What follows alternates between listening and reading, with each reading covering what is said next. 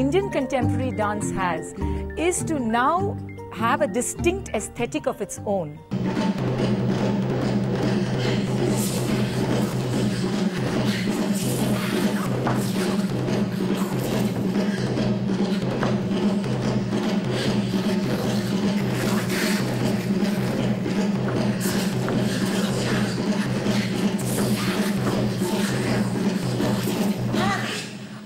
I use a lot of digital technology.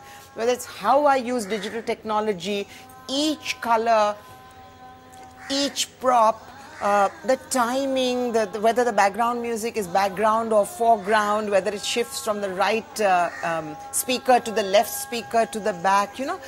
We live in a world where we are competing with the best in everything, and if we want to make an impact, we have to take that challenge.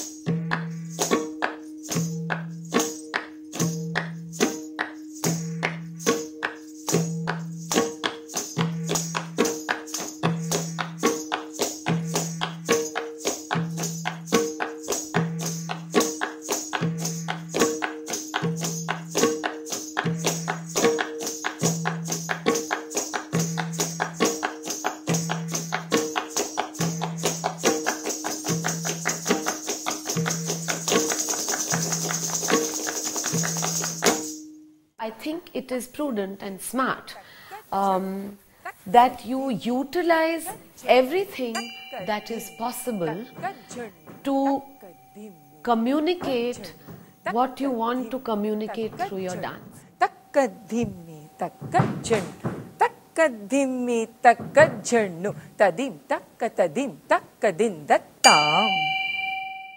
When an audience sits in the auditorium, or watching your performance, you are taking them on a journey with you.